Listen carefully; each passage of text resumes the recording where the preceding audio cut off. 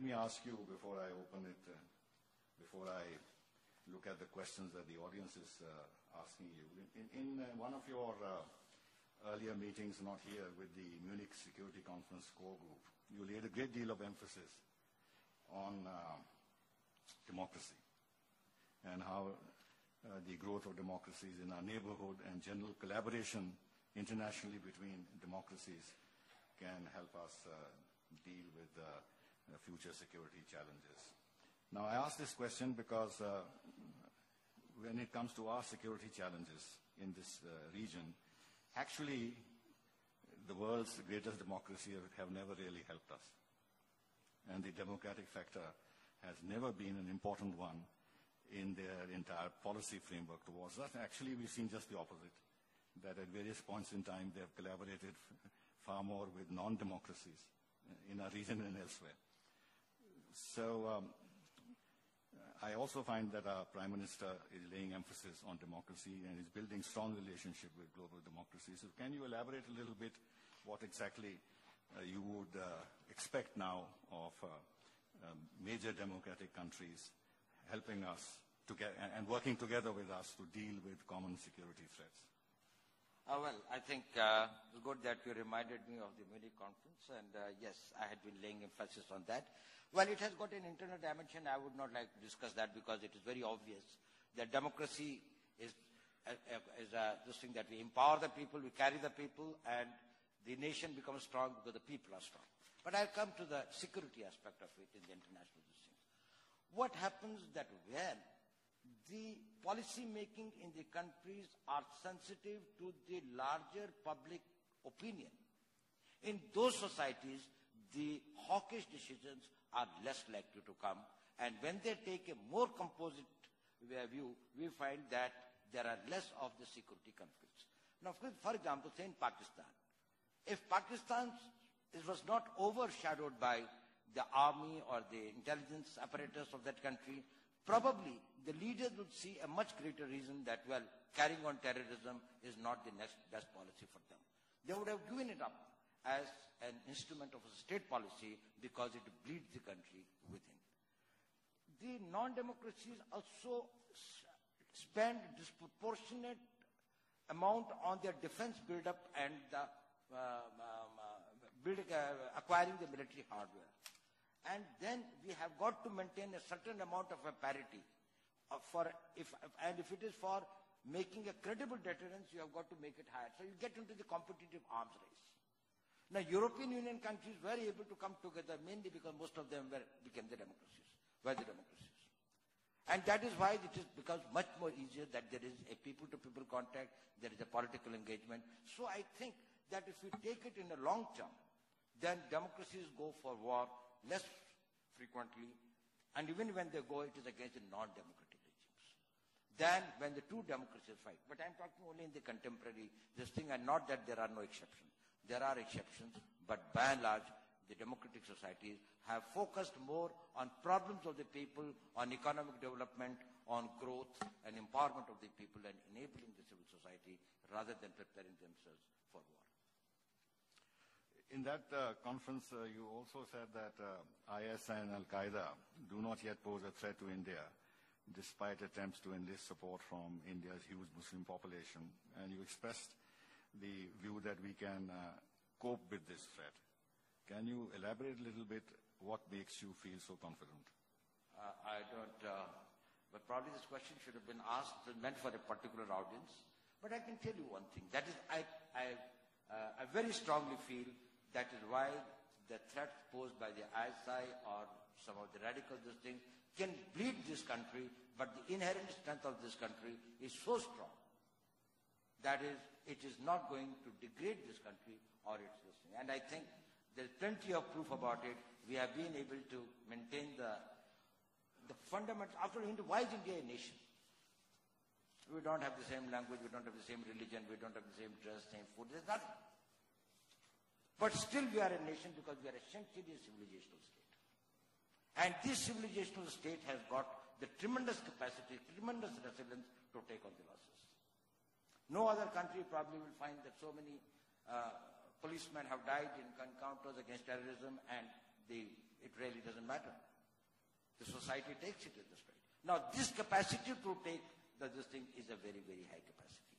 So they can bleed us, they can create some human tragedies and others, but I think if any country feels that India as a state will get degraded because of terrorism or because of the fundamentalist things and others, I don't think that that's right. It is not that fragile a state.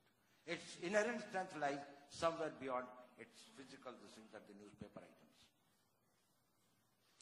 Uh, there is a question from the audience.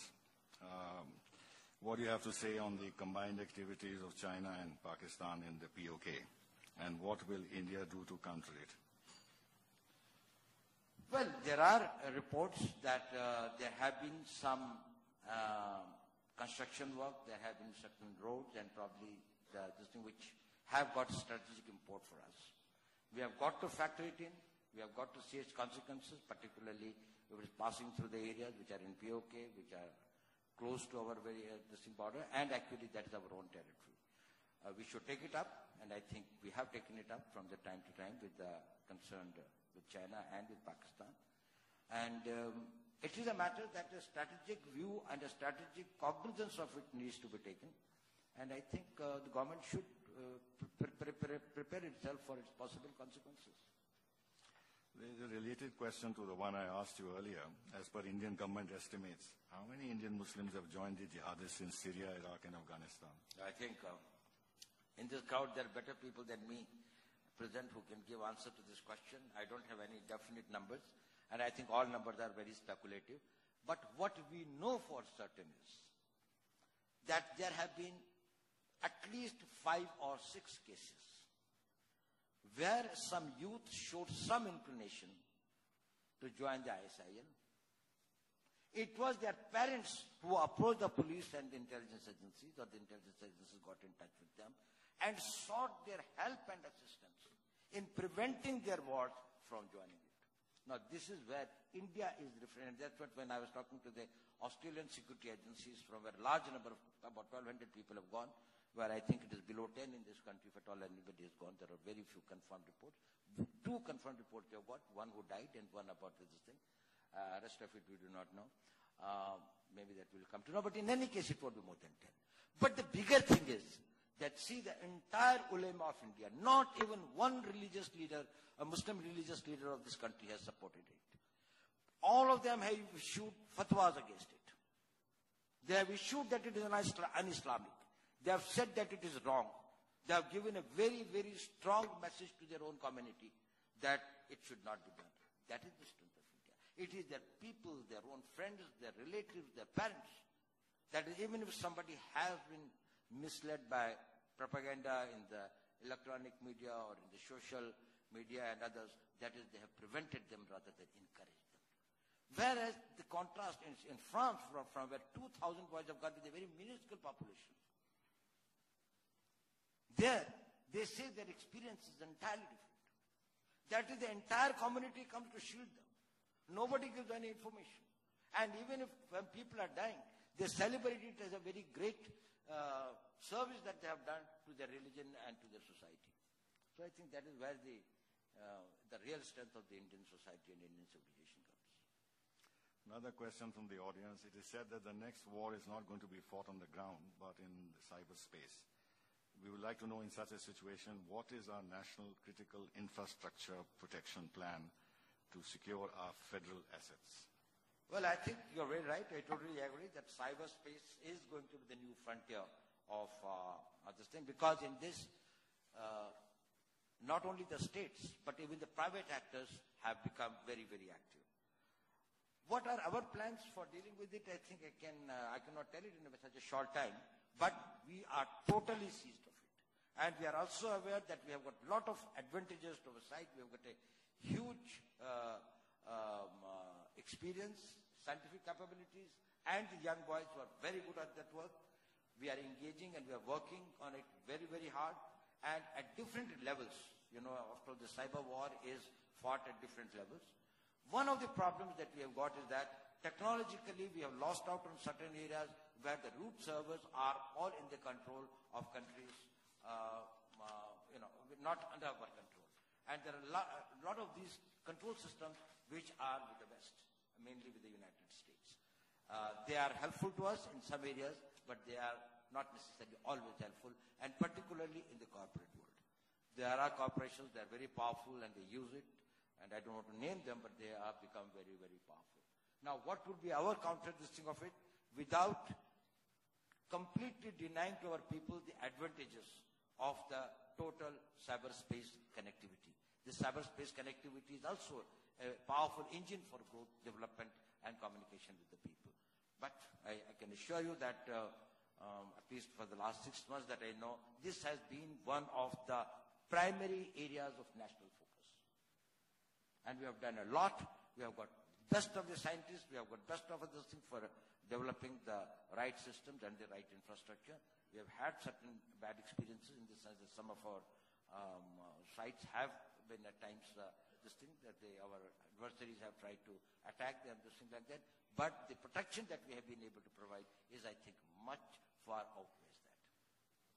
Um, we don't have much time left. Last uh, question. You, you said in an earlier speech that if we have similar democracies in the region, that could be one of the very surest drivers of India's security. And today you've spoken about India's soft power in dealing with, uh, with China. Can you elaborate on this a little more?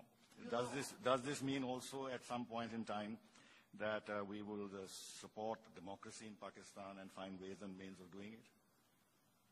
Well, democracy as an ideology, our supporting it is something that we have been supporting right from the time that we got independence.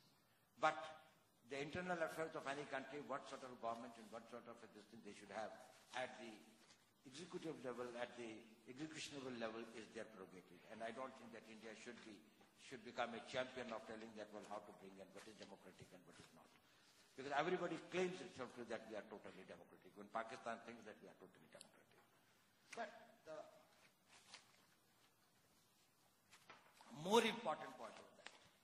The biggest help to cause of democracy in the region, if you think that it makes the region more secure and stable, is that India becomes a success story.